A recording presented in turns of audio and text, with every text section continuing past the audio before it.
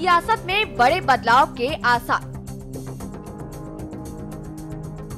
नगीना में अपनी पार्टी के बूते चुनाव में उतरे चंद्रशेखर ने मज़बूत जीत हासिल की है। बहरहाल चंद्रशेखर की जीत को दलित सियासत के लिए बड़ा बदलाव माना जा रहा है। इसके साथ ही इमरान मसूद की जीत में भी चंद्रशेखर का बड़ा रोल माना जा रहा है। आपको बता दें कि लोकसभा चुनाव में मायावती ने चंद्रशेखर को दलित नेता का तमगा न देते हुए किनारा कर लिया था।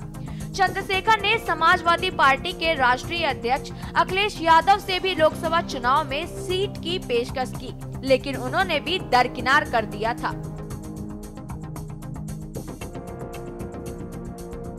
फिर निर्णायक भूमिका निभाने जा रहा दलित वोटर।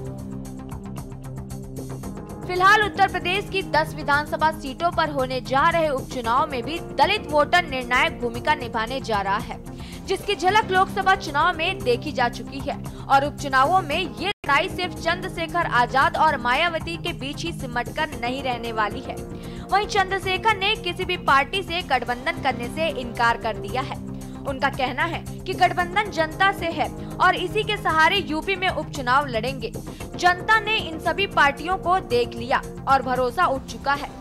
उन्होंने कहा कि उनकी पार्टी इस चुनाव में नए लोगों को मौका देगी। चंद्रशेखर लगातार दलित, मुस्लिम आदिवासियों का आवाज़ उठा रहे हैं। दरअसल उत्तर प्रदेश में 10 विधानसभा सीटों के लिए जल्द ही उपचुनाव होने जा रहा है। यूपी से जुड़े सभी राजनीतिक दल उपचुनाव की तैयारियों में जुटे हुए हैं। बीजेपी में जारी झगड़े के बीच मुख्यमंत्री योगी आदित्यनाथ ने तो पहले से ही 30 मंत्रियों की टीम बनाकर काम पर लगा दिया है। बहरहाल आपसी लड़ाई अपनी जगह है, लेकिन डिप्टी सीएम केशव प्रसाद मौर्य अपनी ज़्यादातर सोशल मीडिया पोस्ट में एक बात ज़रूर कहते हैं।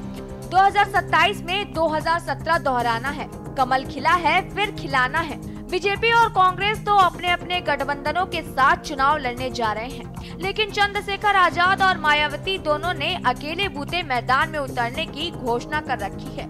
और जिस तरह से संसद में विपक्ष के नेता राहुल गांधी ने जातिगत जनगणना का मुद्दा उठाया है, उसके भी तार यूपी उपचुनावों से बरबस जुड़ जाते हैं।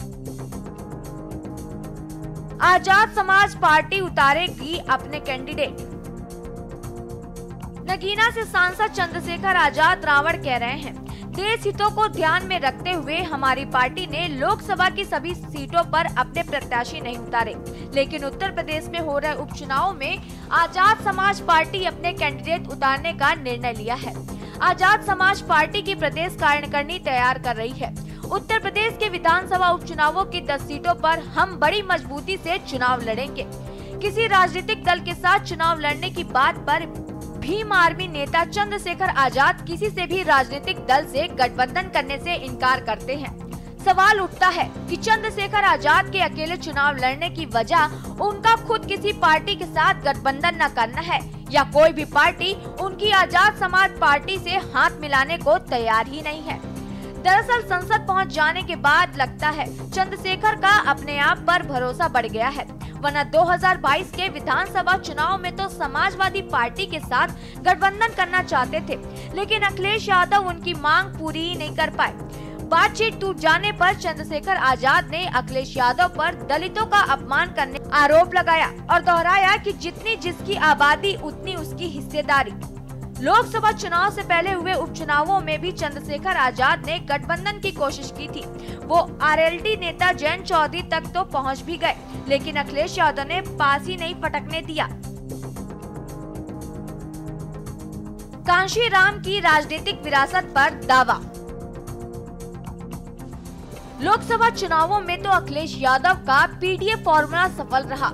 और अब राहुल गांधी भी उस फॉर्मूले पर आगे बढ़ने की कोशिश कर रहे हैं। लेकिन चंद्रशेखर आज़ाद और मायावती अपने अलग रास्ते ही चल रहे हैं। चंद्रशेखर आज़ाद भी दलितों और मुसलमानों को साथ लेकर चलने की कोशिश कर रहे हैं। दलितों में भी चंद्रशेखर आज़ाद खुद को बीएसपी के संस्थापक कांशी राम के सिद्धांतों पर चलने और उनकी राजनीतिक विरासत पर दावा जताने लगे हैं। चंद्रशेखर आज़ाद का आरोप है कि मायावती कांशी राम के सिद्धांतों को छोड़ चुकी हैं, क्योंकि उनको दलितों के हितों की कोई फ़िक्र नहीं है। दरअसल चंद्रशेखर संसद पहुँच जाने के बाद मौके का हर संभव फ़ायदा उठाने में जुट गए हैं। बात निजी क्षेत्र में अनुसूचित जातियों अनुसूचित जनजातियों और अन्य पिछड़े वर्गों के लिए आरक्षण अधिनियम 2024 की इसकी पैरवी में चंद्रशेखर कसर नहीं उठा रहे हैं।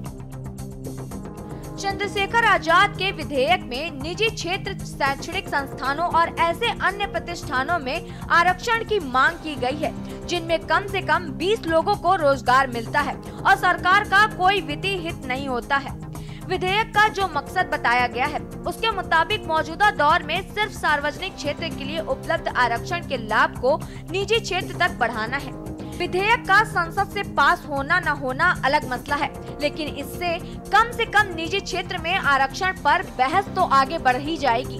और मामला ऐसा है, जिसका विरोध करना किसी के बस की बात नहीं होगी। चाहे वे चंद्रशेखर आज़ाद के कितने भी खिलाफ क्यों न हो।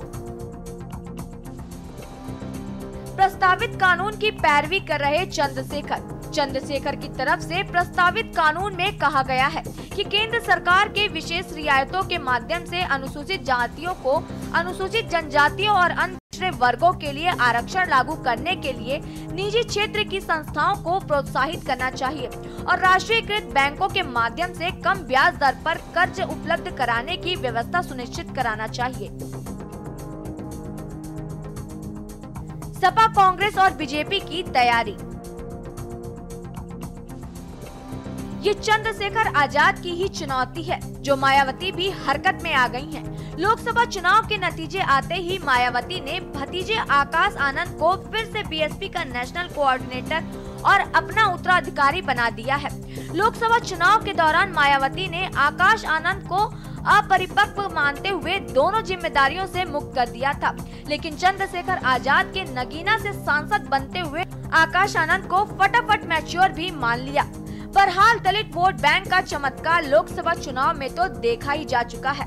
यूपी के उपचुनाव में भी नज़र आने वाला है और दलित वोटर की भूमिका सिर्फ़ चंद्रशेखर आज़ाद और मायावती तक ही सीमित नहीं रहने वाला है, बल्कि अखिलेश यादव और राहुल गांधी भी उसी दायरे में है। स्पेशल डेस्क के न्यूज़ इंडिया।